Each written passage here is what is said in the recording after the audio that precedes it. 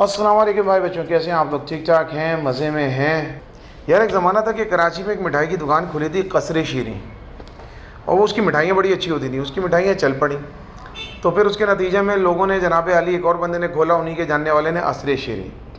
फिर उसके साथ एक और बंदे ने देखा कि ये दोनों दुकानें चल रही हैं तो उसने खोला जनाब अली, ऐवान शीरी। अब एक और बंदे ने खोला, यार, ऐवान शीरी से मिलता जुलता क्या है? उसने, एक और बंदे ने खोला, उसका नोमान शीरी। फिर एक और बंदे ने खोला, उसने खोला बनाया नोमान एंड शीरी। इसी तरह कसर शीरी और असर शीरी की तरह हमारे इलाके में एक और बंदे ने खोला था, कैसर एंड शीरी।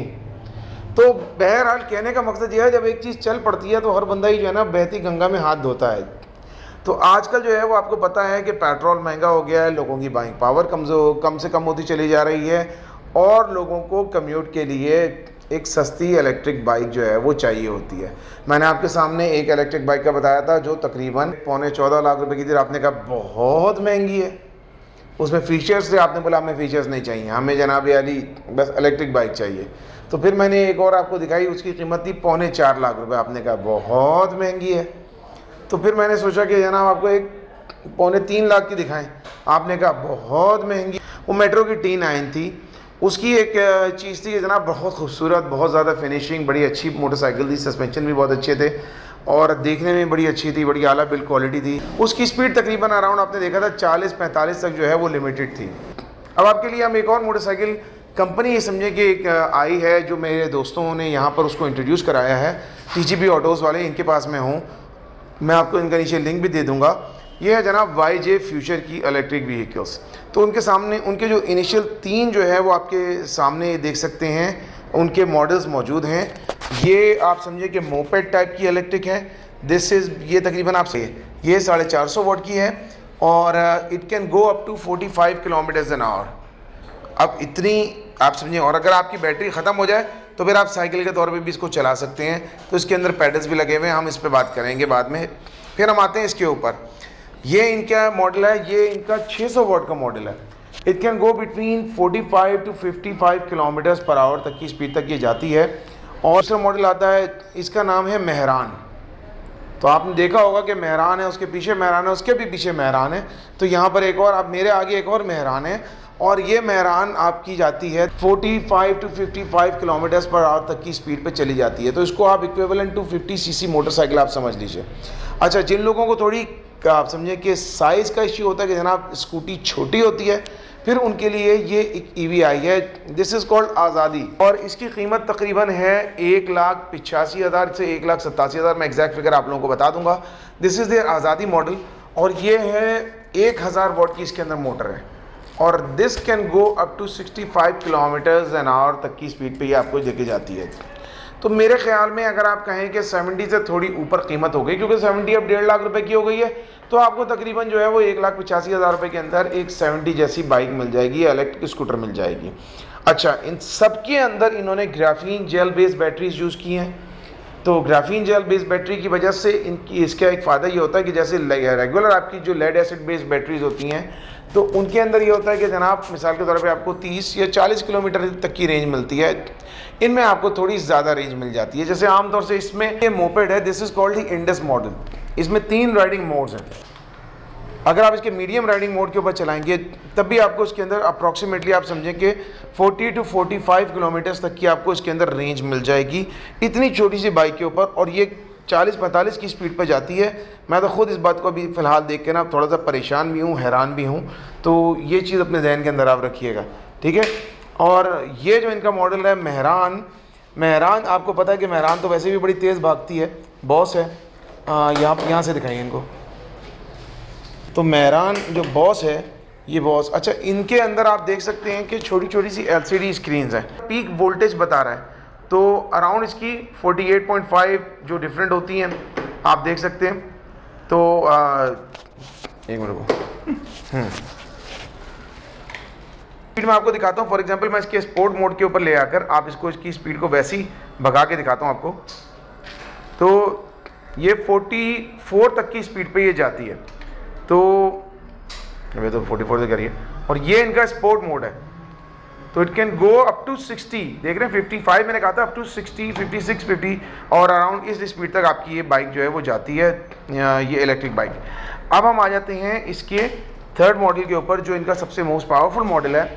और ये मॉडल है जनाब इनका दिस इज़ कॉल्ड दी आज़ादी और इसकी आप देख सकते हैं स्क्रीन जैसे आपने, मैंने पहले मेट्रो की, यादिया के ऊपर बात की थी तो आप ये देख सकते हैं, उससे काफ़ी रेमनेसेंट है। और इसकी एक बड़ी मज़ेदार चीज़ है जो मुझे यादिया में नज़र नहीं आई थी, इसमें मैंने देखी। एक तो इसमें तीन राइडिंग मोड्स हैं, आप देख सकते हैं, ठीक है? और तीन राइडिंग मोड्स के अलावा आप ये नीचे देख सकते हैं, या इनको यहाँ करीब से दिखाइए वाला पॉइंट पार्ट भी। इसके अंदर रिवर्स का भी जो है वो गियर है।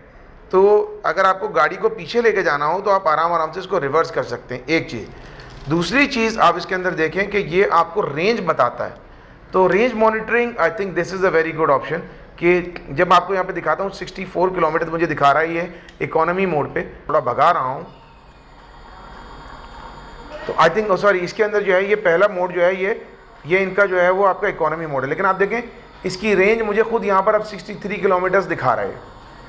अब अगर मैं इसका यहाँ से चेंज करता हूँ और इसको स्पोर्ट में लेकर आता हूँ मोड पे, और अब मैं यहाँ से इसको भगाऊँगा, देखें आपको बाकायदा पता चल रहा है 65 मैं अगर इसको चलाता रहूँगा तो इसकी बैटरी की डिप्लीशन आप यहाँ नीचे देखते चले जाइएगा कि अभी ना 63 बोला है और अब जो है ये आहिस्ता आहिस्ता जो है वो अपना किलोमीटर्स जो है वो कम करती चली जाएगी। अब चार्जिंग की बात करते हैं, इनके अंदर चार्जिंग ठीक है? इन देखें ये जेल बेस्ड बैटरीज़ हैं, या लेड एसिड बेस्ड बैटरीज़ हैं, इनमें फास्ट चार्जिंग सपोर्ट नहीं होती। वो कहते हैं ना कि अपना you want century you have to pay a price तो यहाँ भी यही होता है कि जनाब कहीं ना कहीं हमें कॉम्प्रोमाइज़ देखना पड़ जाता है। आप बाइक को मैं आपको क्लोजअप से भी दिखाऊँगा। तो डिफरेंट कॉम्प्रोमाइज़ में एक कॉम्प्रोमाइज़ इसके अंदर ये आ जाता है बजट के अंदर। चार्जिंग टाइम आपका थोड़ा बढ़ जाता है, लेकिन लॉन्ग रेंज कम्यूटिंग वाली बाइक नहीं है। ये आपको अप्रॉक्सीमेटली 55 अराउंड 65 टू 70 किलोमीटर्स आपको दे देगी पर चार्ज ठीक है? ये आपको अप्रॉक्सीमेटली 60 तक दे देगी, और ये आपको अराउंड 45 टू 50 तक की जो है वो मैक्सिमम 45 तक आप इसको एस्टिमेट करें कि जनाब ये आपको रेंज दे देगी विच इज़ नॉट बैड आप अगर मिसाल के तौर पे ऑफ़िस जाते हैं या कहीं भी जाते हैं तो इसका मैं आपको आपको चार्जर दिखाता हूँ। चार्जर का मैं ये रहा वहीं रखो वहीं रखो वहीं रखो। ये दिखाता हूँ। अब मोबाइल बंद करो यार। ये बात ये ये इसके चार्जर है और ये जैसे आपकी जो कंप्यूटर की जो केबल्स होती हैं, वो केबल्स इसमें इन्होंने दी हुई हैं। तो जिसकी वजह से फ़ायदा ये होगा कि मिसाल के तौर पे आप किसी अपनी वर्क प्लेस पर जाते हैं, कहीं भी जाते हैं, आपने वॉल के आउटलेट से इसको लगाया, अब ये बाइक साथ साथ चार्ज होना शुरू हो गई।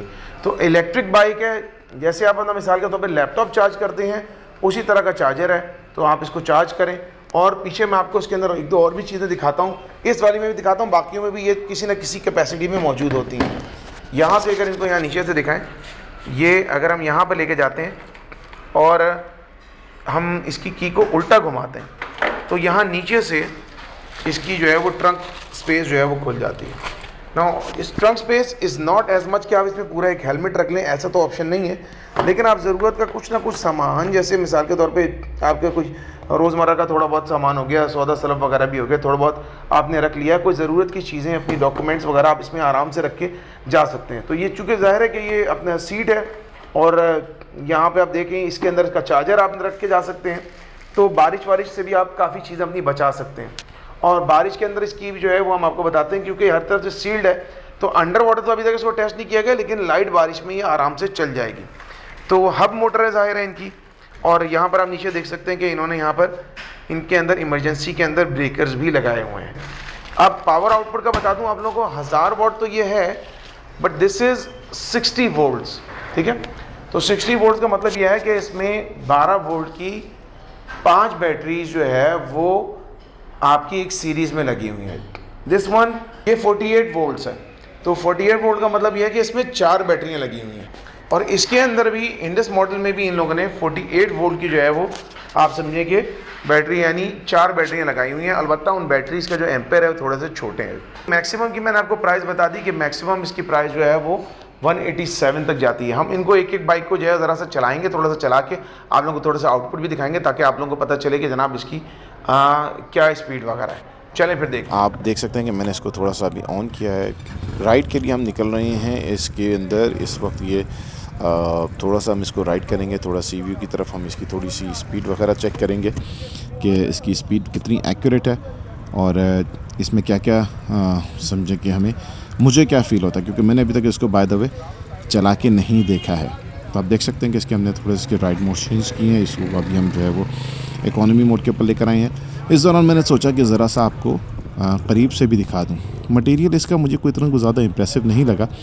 इवन आप ये देख सकते हैं कि इसके अंदर ये जो यहाँ पर आप मटेरियल वगैरह देख लीजिए और हैंडल बार वगैरह देख लीजिए तो इसमें लोकलाइजेशन काफ़ी हद तक नज़र आती है। पेंट जॉब इन्होंने काफ़ी डिसेंट की हुई है। तो पेंट जॉब इज़ डिसेंट ठीक है?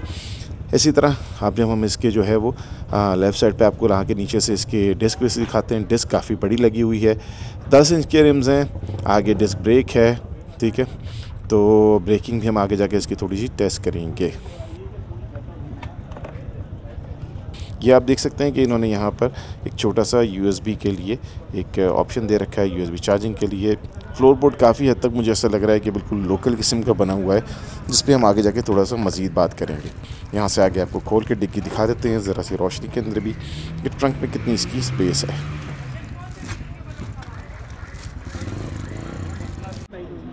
अब हम यहाँ से निकलने के लिए थोड़ी सी दोबारा इस गाड़ी को मैं थोड़ा ऑन करता हूँ। एक दो दोस्तों को मैं साथ करूँगा ताकि उनके साथ हम चेक कर सकें कि मोटरसाइकिल के अंदर क्या क्या मतलब इसकी स्पीड कितनी एक्यूरेट है एवरीथिंग ज़ाहिर बैकअप के ऊपर कोई ना कोई बंदा अपने साथ हमने रखना है। ठीक है बिकॉज़ मैं फ़र्स्ट टाइम इसको चला रहा हूँ, बिस्मिल्लाह करके हम इसको निकलते हैं। अब यहाँ से मैं निकल रहा हूँ, आप देखें। मैं यहाँ पे नीचे थोड़ा सा मैंने कंप्लेन की थी कि जनाब मेरे पैर थोड़े से स्लिप हो रहे हैं। मैं समझा मेरे जूते स्लिपरी हैं, लेकिन जूते स्लिपरी नहीं है। यहाँ पर इनको मैट देना था एक, फ्लोर का मैट देना था जो इन्होंने इसका नहीं दिया शोरूम को। तो that's why is causing a of hectic problem मेरे लिए। बहरल इसका हम हॉर्न वगैरह चेक करते हैं। अब आप ये देख सकते हैं। हॉर्न को तो मैंने इसके अंदर चेक किया है।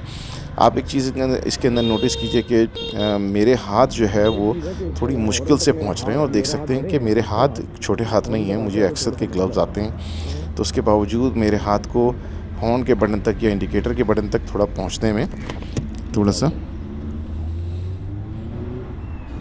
थोड़ा सा मुझे जो है वो मुश्किल होती है। यहाँ से हम थोड़ा सा लेफ़्ट लेंगे। लेफ़्ट लेकर फिर हम जो है वो हाईवे की तरफ़ जाना शुरू करेंगे।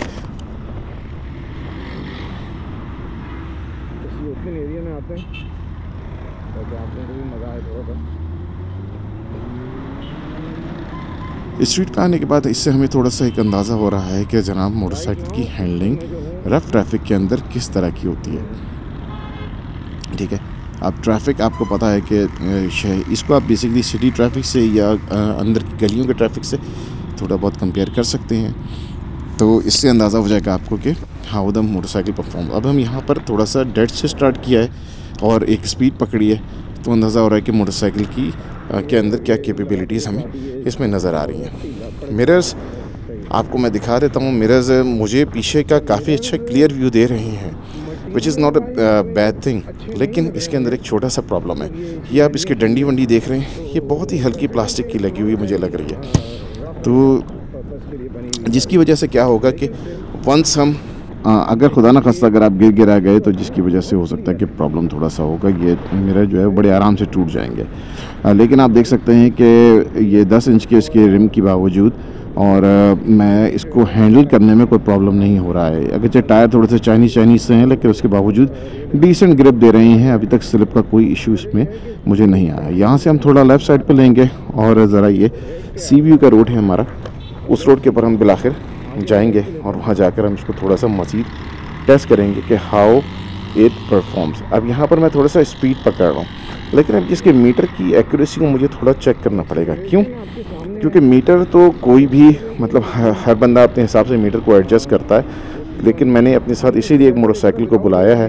वो आ जाएँ दोस्त, मैं अभी उनको ढूंढ रहा हूँ कि वो किस तरफ़ पे चले गए, ताकि मैं उनसे पूछूँ कि मिरर सॉरी सर ये उनकी जो है वो, उनकी बाइक के ऊपर क्या मीटर के ऊपर रीडिंग आ रही है और इस स्कूटर पे मीटर की रीडिंग क्या आ रही है। तो अपने बराबर मैंने इनको बुलाया है और मैं इनसे पूछ रहा हूँ कि जनाब मीटर उनका क्या बता रहा है? ठीक है? तो इन्होंने बताया है कि तकरीबन दो किलोमीटर्स का हमारे पास डिफरेंस इसके अंदर आ रहा है। तो फॉर एग्ज़ाम्पल मैं अगर अभी 40 के ऊपर हूँ तो इनके पास 40 सॉरी 38 जो है वो दिखा रहा है। मैंने यहाँ से स्पीड पकड़ी है और जब मैंने 40 को क्रॉस किया है 42 43 पे गया हूँ तो थ्री किलोमीटर्स का जो है वो डिफरेंस इसके अंदर आ रहा है। मैं इससे आगे जाके जब देखिएगा, दोबारा पूछूँगा कि क्या डिफरेंस आ रहा है तो ये बताएँगे तीन किलोमीटर्स के डिफरेंस आ रहा है। फॉर एग्जांपल मैं बयालीस की स्पीड के ऊपर हूँ तो इनकी मोटरसाइकिल के मीटर पे तीन किलोमीटर का डिफरेंस आ रहा है, यानी इनके पास अड़तीस या उनतालीस बता रहा है। अब ये याद रखिए कि तीन किलोमीटर्स का डिफरेंस यहाँ पर हमें पता चल गया मीटर के ज़रिए। इसके अलावा जो जीपीएस का आमतौर से एरर होता है, वो तकरीबन पाँच से छः किलोमीटर्स के आसपास बनता है। तो अगर उस मोटरसाइकिल का जीपीएस का एरर पाँच से छः किलोमीटर्स का है और इसके अंदर तीन किलोमीटर्स का आ रहा है तो दर हकीकत आप जब पचास की स्पीड पे इसके मुताबिक जा रहे हैं तो आप कहाँ जा रहे हैं? दर हकीकत आप जो है वो सैंतालीस या अड़तालीस की स्पीड के ऊपर जा रहे हैं। सॉरी अपना बयालीस या तैंतालीस की स्पीड के ऊपर जा रहे हैं एट मैक्स और उसके बाद फिर अगर हम उसको जीपीएस के एरर को मज़ीद कैलकुलेट करें तो ये 60 किलोमीटर एन आवर जो आपको बता रहा है, दर हकीकत ये 50 किलोमीटर एन आवर की स्पीड जीपीएस के ऊपर आपको नज़र आएगी। तो 10 किलोमीटर्स तक का 9-10 किलोमीटर्स का एरर अपने जहन के अंदर रखें स्लो स्पीड के ऊपर। ये मैं अक्सर ई के अंदर देख चुका हूँ, जो मैं आगे जाकर आप लोगों को बताऊँगा अभी कि जनाब, ये आमतौर से प्रॉब्लम अक्सर ई के अंदर मुझे फेस हुआ है कि उनके मीटर्स कुछ ज़्यादा ऐसा लगता है कि तेज़ कर दिए गए हैं। तो keep this thing in mind अब अगर आपको कोई बोलता है कि आप जो है वो अपना 110 किलोमीटर चला रहे हैं तो हो सकता है कि उस ईवी की असल रेंज जो होगी, वो 90 या 92 किलोमीटर या 95 किलोमीटर एड मैक्स होगी। लेकिन उसको फॉर एडवर्टीज़मेंट पर्पज़ उन्होंने उसकी, चूँकि मीटर तेज़ किया हुआ है तो वो लगता है। इसी तरह मैंने आपको बताया कि ये जो पार्ट्स वगैरह हैं, अब ये लोकलाइज तो कर दिए गए हैं इन्होंने, ठीक है? ये आप हैंडल बार देख सकते हैं सॉरी हैंडल बार की ग्रिपें देख लें, या आप इसकी बॉडी के फ्लोर बोर्ड्स वगैरह का पार्ट देख लीजिए। अगर तो इन्होंने इसको लोकलाइज किया है तो इसकी क्वालिटी थोड़ी सी कम है। या इन्होंने जहाँ से सोर्स कर रहे हैं वो भी कोई इतनी अच्छी क्वालिटी नहीं है। अब what matters in this regard is that कि अगर ये खुदा ना खास्ता ये कोई पार्ट वगैरह अगर टूट टाट गया हो या इसमें कोई डैमेज हो गया तो आपको ये सस्ता मिल जाएगा। क्योंकि इसकी मुझे आ, मेरा नहीं ख्याल कि इसके ऊपर इतनी ज़्यादा कोई प्राइस इन लोगों को उसके ऊपर डिमांड करनी चाहिए। हम यहाँ से आगे थोड़ा सा लेफ़्ट लेंगे और हम फिर थोड़ी सी स्पीड को थोड़ा सा टर्न करके चेक करेंगे। कि हाउ इज़ इट्स राइडिंग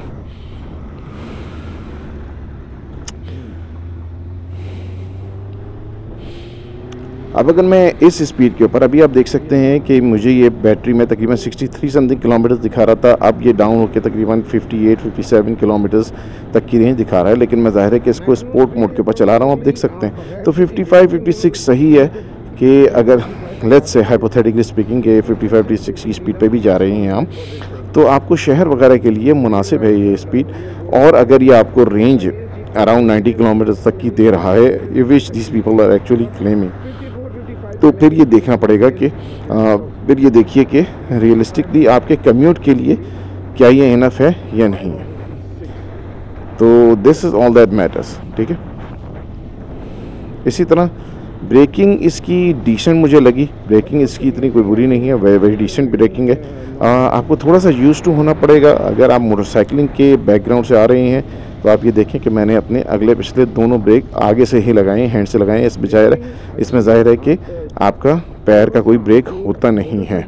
तो just keep this in mind कि मैंने अगर मिसाल के तौर पे बाइक से आप लोग आ रहे हैं तो लेफ़्ट साइड पे जो होता है आपका ये वाला ब्रेक ये आपका रियर ब्रेक होता है और राइट वाला आपका जो है, ये फ्रंट ब्रेक होता है जो जो आमतौर से समझे कि कंपेरेटिवली एक सेम ही चीज़ होती है। तो this is just the just of it ठीक है? हम इसको थोड़ा सा और आपको दिखा देते हैं कि manoeuvring is easy it's not that bad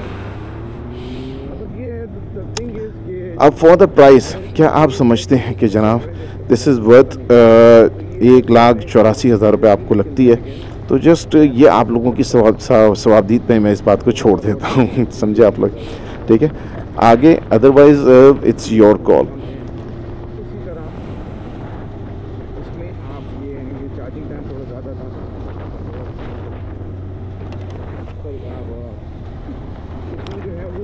चले जनाब, यहाँ पर हमने इसको थोड़ा सा एंड कर दिया।